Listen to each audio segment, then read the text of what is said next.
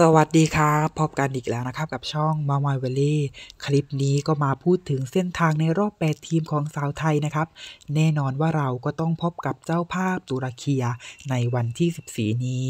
สี่ทุ่มครึ่งนะครับ ซึ่งถ้าหากสาวไทยชนะไปได้ก็จะได้เข้ารอบ 4 ทีมสุดท้ายไปเลยครับ ซึ่งสาวไทยมีโอกาสแค่ไหนกับการชนะตุรเคี และได้ผ่านเข้ารอบสีทีม ซึ่งถ้าเราดูสถิติย้อนหลังนะครับ ไทยกับตุรกีแน่นอนว่าเราก็จะแพ้เขาอยู่บ่อยๆ ครับ แพ้อยู่ตลอด แต่มาตอนนี้เราอยู่ในยุคของน้องๆรุ่นใหม่ ซึ่งยังไม่ได้เห็นฟอร์มน้องๆเลยนะครับ เมื่อเล่นกับตุรกีซึ่ง 14 นี้ จะเป็นครั้งแรกที่เราจะได้เห็น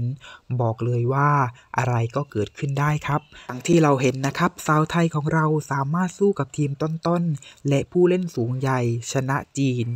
เราก็เอาทำมาแล้วนะครับ เชื่อว่าถ้าสาวไทยของเราองลงนะครับ สกิลต่างๆ เป๊ะปัง ก็มีโอกาสเหมือนกันนะครับ ที่จะเอาชนะเลย ดังนั้นไม่ใช่เรื่องที่จะเกิดขึ้นไม่ได้นะครับ ถ้าสาวไทย รับดีๆนะครับซิปล็อกดีๆ แล้วก็รุกแบบมีคุณภาพ ตัวตบเรามาวันนั้นเราก็จะมีโอกาสในการชนะได้อย่างแน่นอนครับ